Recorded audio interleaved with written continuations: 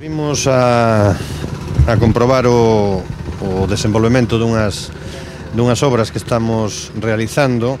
Son unhas obras que foron previamente consensuadas foron pedidas e des, con, pola, pola cofradía e polo Concello e consensuadas entre portos, eh, cofradía e Concello e consisten basicamente na construción dunha dun sistema de recollido de, de hidrocarburos eh, a través dunha canaleta e unha fosa de decantación que está na zona eh, inmediata á rampa que temos as nosas costas e que mm, recollerán os residuos froito de, de tarefas de varada eh, nun espazo de 400 metros cuadrados aproximadamente e que eh, agardamos que antes de fin de ano, salvo imprevistos, eh, a empresa remate con esa actuación.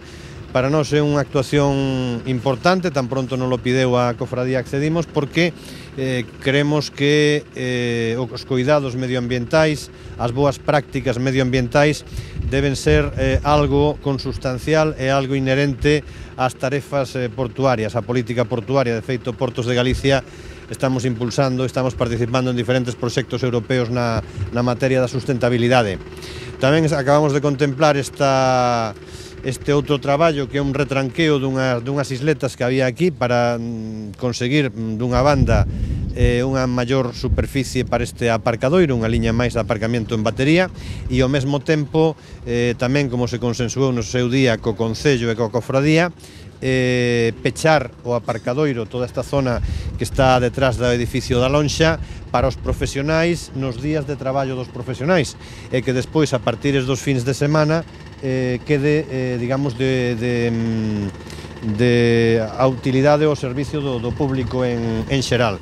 Pero esta, esta actuación que falamos deste retranqueo se vai a completar con dúas, con dúas máis que é a instalación dunhas eh, pilonas, duns pivotes neumáticos eh, electromecánicos para eh, abrir e pechar os mesmos a través dun sistema de tarxetas eh, para, digamos, eh, separar as dúas zonas de aparcadoiro nos días de traballo entre o, entre o lunes e o venres e os propios fins de semana.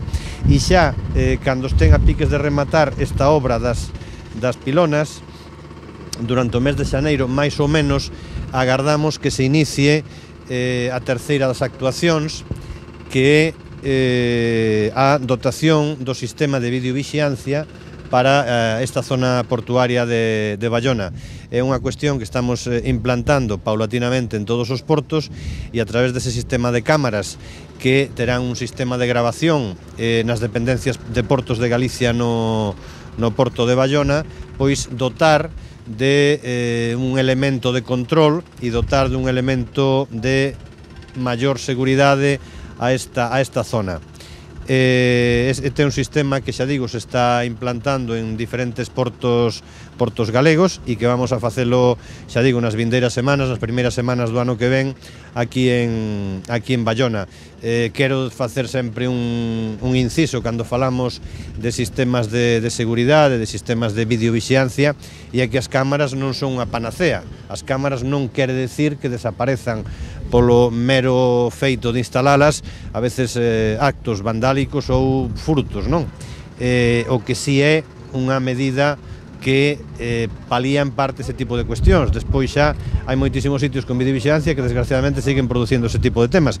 Nos agardamos que teñan por unha parte un efecto disuasorio e que sexa tamén un elemento de mm, un elemento de de, de seguridade hai que ter en conta que cando se instalan dispositivos de videovixiancia temos que facer eh, eh, mención ao cumplimento ás prescripcións da Lei de Protección de Datos, que é unha lei que recolle dereitos fundamentais eh, que establece a nosa Constitución e que precisamente as grabacións están custodiadas por personal autorizado e o acceso ás mesmas é eh, a través do procedimento establecido, que é sempre eh, xudgados ou forzas e corpos de seguridade.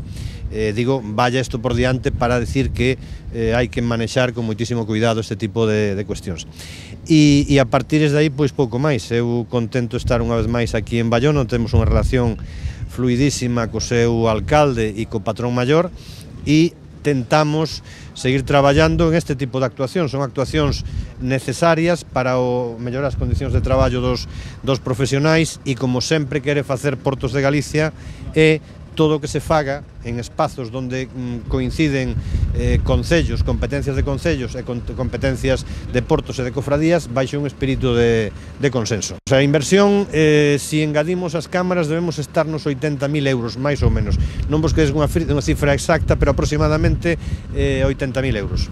Ganamos unha liña, ganamos unha liña de, de aparcamento en, en batería para uso público. O espacio público, sí. pero se limita máis o espacio profesional para evitar, porque o problema de fin de semana que tiñan eles que sí. comentaban é que entraban coches que logo deixaban eh. aparcados na, no, na zona de... Estaban, eh, bloqueaban eh, o traballo cando viñan a traballar. entonces era, era un problema. O sea, que entón, a parte, esa parte vai estar fechada sempre. Exactamente. Para vehículos de dos profesionais limitada a vehículos profesionais co cual, co cual o que decías do tema rampa evidentemente a xente que, que, que non, non van estar aí